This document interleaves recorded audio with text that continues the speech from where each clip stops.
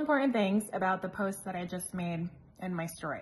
First of all, lab reference ranges aren't normal ranges, right? We've talked about this, you've heard me talk about this so many times. What's really terrible and probably the worst reference range ever on labs are testosterone values for women. And when you're looking at testosterone, you have to look at free and total testosterone, not just total testosterone. Usually, labs are using uh, postmenopausal females when they're calculating testosterone levels for women. And there's also a lot of misunderstanding in the general medical community about testosterone in women in general. I was taught in medical school that testosterone is actually dangerous for females and then I got into practice and did some extended learning, did some research, and found that testosterone is actually our most abundant female hormone. Why does this matter? Bioidentical testosterone is protective. It actually prevents things like breast cancer. A lot of the research coming out now, they're finally figuring out that one of the reasons we have so many instances of breast cancer as we get older is because we don't have enough bioidentical testosterone. Why don't we have enough bioidentical testosterone? It's an adrenal hormone for women. So by the time we reach our 30s, mid 30s, all of us are adrenally fatigued. I see it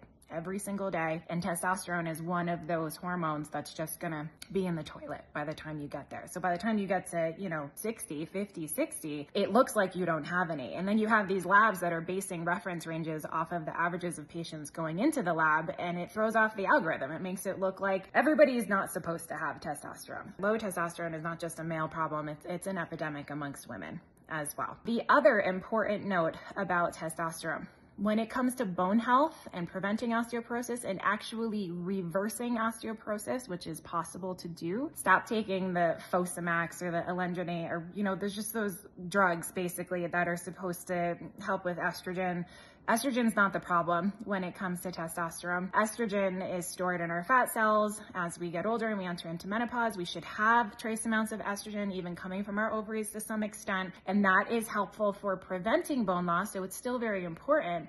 But testosterone rebuilds bones. Pretty phenomenal, right? So all my women who come in with these DEXA scans have been diagnosed with osteopenia. I put them on, on either testosterone, bioidentical testosterone, or I give them DHEA. You can increase testosterone if you know how to dose DHEA correctly, which is always going to be higher than you think you should be dosing. It's just, it really ticks me off. I like that post because it's true. Like if this was a male problem, there'd be all of this money and all of this research behind it. They'll find a way to monetize and make money off of testosterone therapy for women. Someday it's coming, but for now, you gotta advocate for yourself, right? Which is why I'm on here and why I'm telling you.